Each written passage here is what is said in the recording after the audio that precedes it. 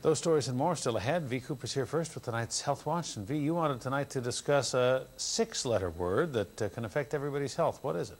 Hudson, the six-letter word is stress, and most of us has come to accept it in our daily lives. We know for our health, we need to find ways to reduce our stress.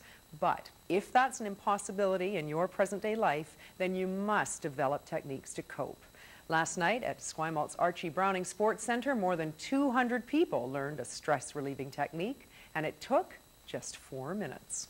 I'd like you to choose a number on a scale of 1 to 10 that represents how you're feeling at this particular point, mentally and physically, with one being, we better call an ambulance. Dr. Keith Jeffery calls Nanoose home, but he travels around the world spreading his philosophy of taking just four minutes out of your busy day to center yourself and improve your quality of life. Incorporating principles of Tai Chi, meditation, yoga, and deep breathing, Jeffery shows his audience how his four-minute exercise can reduce stress and anxiety.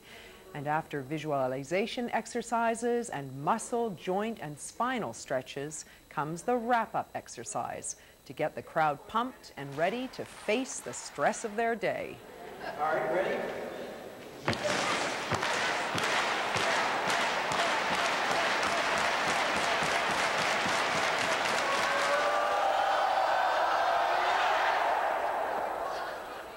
They look pumped. Jeffery says employees in high-stress organizations can especially benefit from his fitness exercise. He does conduct seminars for businesses across North America and Japan. You can check out his website, 4 Minute Philosophy at 4minutefitness.com.